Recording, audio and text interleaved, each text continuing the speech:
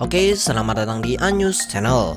Seperti yang sudah kami janjikan sebelumnya pada postingan akun Instagram kami, pada kesempatan ini kami akan membawakan informasi mengenai bocoran atau spoiler anime Boruto episode 89. Di mana pada episode ini akan diperlihatkan pertarungan Boruto melawan Sarada. Loh, kok Boruto melawan Sarada? Eits, nanti dulu. Biar tahu jawabannya, silahkan simak video ini ya. Berdasarkan pada informasi yang berhasil kami dapatkan, anime Boruto episode 89 akan resmi didayangkan tahun depan pada tanggal 13 Januari 2019 dengan membawakan sebuah subjudul Keteguhan Hati.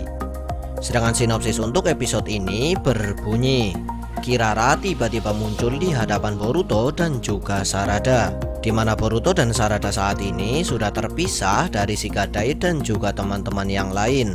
Karena Kirara merupakan manusia buatan yang diciptakan untuk bisa menggunakan teknik Genjutsu, Kirara kemudian menggunakan teknik ini untuk mengendalikan Boruto dan juga Sarada seperti layaknya sebuah boneka.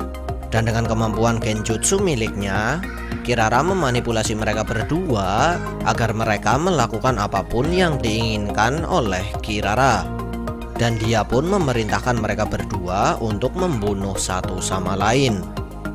Bagaimanakah akhir dari pertarungan Boruto melawan Sarada yang sedang dalam pengaruh Genjutsu? Menarik untuk kita nantikan. Ya kurang lebih itulah tadi sedikit bocoran atau spoiler anime Boruto episode 89. Semoga bermanfaat dan bagi teman-teman yang memiliki kritik saran serta pertanyaan silahkan tulis di kolom komentar Sekian dari kami dan bagi teman-teman yang ingin stay update dengan berita anime Jangan lupa untuk klik subscribe dan klik tanda lonceng di bawahnya See you again in the next video See ya